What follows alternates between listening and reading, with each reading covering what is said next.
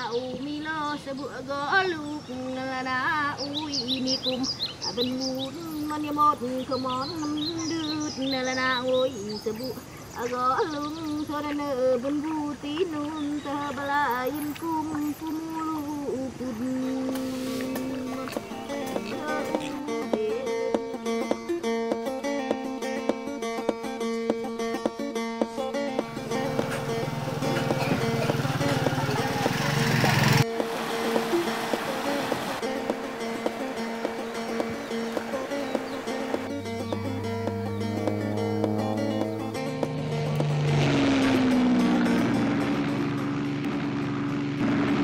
para um, buwis buhay ang pag uh, star namon diri sa lakag. Kay grabe na ang naagyan namon nga mga kalain.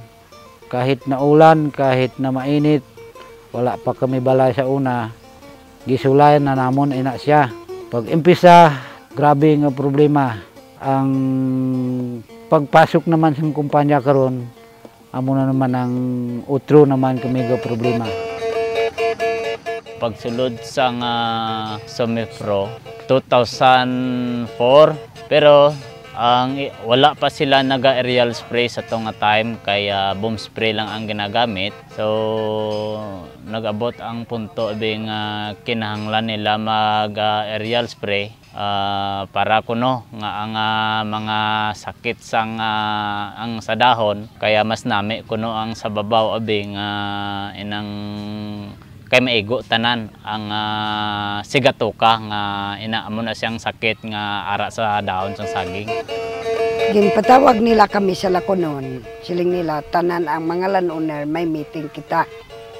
Pag meeting namon dito sa Lakonon, pag uh, siling nila nga amo ni ang meeting naton karon siling niya sa landowner kung hindi kamo mag-attend wala kamo ng mga lima ka tuig.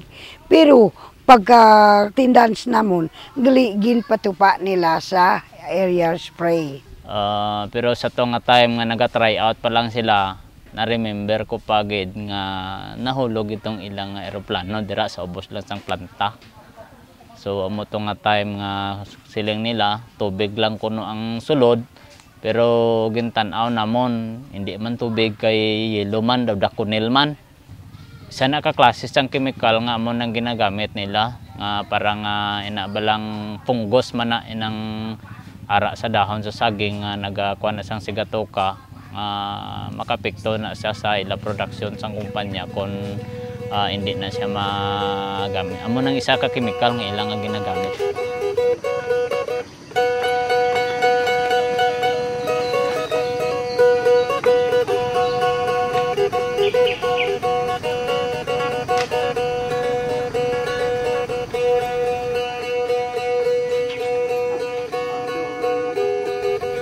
sang umpisa, sang nagakumbinsi pa sila nga kailangan mag-aerial spray, may mga information pa sila may nagalibot pang uh, salakyan nga amo ni nga buwas may ara sang aerial spray amo ni oras.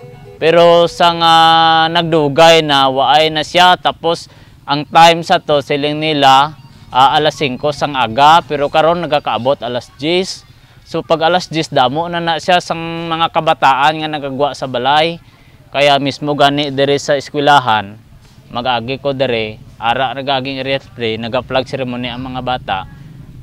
Kita mo gin ang chemical nga madalas ang hangin pakadto dire sa sinieskwilahan. Tapos sa amon naman sa pamalay dira gid nagaagi ang eroplano. Ari gid kami sa tunga sang kasagingan kita naman nato na balay dire saging na. Pila lang gani na way gani mag 50 metros ang distansya ang eskwilahan. Sa likod ya saging na. Dire sa tubang saging man dako gid nga epekto sa amon labi na sa mga kabataan namon nga naga-eskwela diri. Pag ari kami diri sa Lakag, wala pa ang kumpanya nami ang sitwasyon namon. Talagsa lang kami nagkadto sa hospital. Pero subong permi hospital, permi hospital. Anong sakit? May ubo, kag may hapo tungod sa area spray Perti kasang una nami ang panahon sang ining uh, hangin. Pero subong wala na. Tapos, kung halay mo ang mga bayo, hasta man aton bayo, gakatul ka. Hindi ka katulog, pero may katimuya ga, kwan. Ang pag mga kabataan, gakatul na gid sila. Tapos nang may ga, kwan, dre, oh, amo na, magkaon ka ng mga abalong ma'am. Agi, kundi hindi, ihugason mo gid maayo. Hmm? Bago ka magkaon, ihugas mo gid maayo para hindi magampikto ang hilo. Makasiling kami yang sang naga-aerial spray, hindi na safety amon nga mga gulay. Tungod kay may mga nagapilit-pilit ng ah, kulay yellow. Bisan dira sa dahon. So, paano na to na ma paano ta makasiguro bala kon ang pagkaon namon inang ah, makahatag pa sang dugang kaayuhan sa amon lawas kay ang chemical nga nagapilit amo man to makahatag perwisyo hindi na hindi na safety bisan pa sa tubig namon Bali, ang sitsulak kag ang sitsulob kag sitsuturil so diri sila nagakuha sang ilang ah, lig- ah, imnanan kag liguan nila. So naa diha ang iyang ah, source. Bali dira sa may puno ka apos. So amo nang pwede na mga gamiton. Akong kisa dala sa aerial spray na sprayhan gyapon. So amo na nga damo nga problema may mga sa- masakiton nga sakit sang tiyan. Madamo pa iban nga apekto sang aerial spray.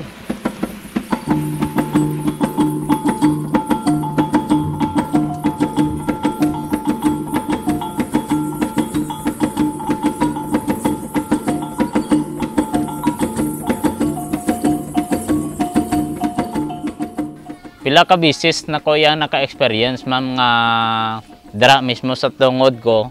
So ginahimo ko na lang gani kay may kab- gakaberol man ko ginaamo ko na lang na ang kaberol ko.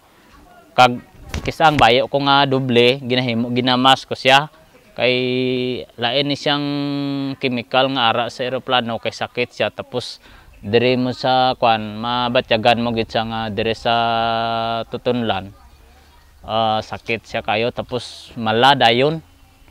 So hindi ka man pwede nga kung ara ka sa sulod saging madalagan ka dayon kay damo man na sang tanawon mo man ang agyan basi ko man mo. So amo na lang nang ginahimo namon. Lain sa tong bomb spray iya nga layo pa mabalaan mo na kag pwede ka makalikaw sa sinadira nga area kung ara da ang naga-spray.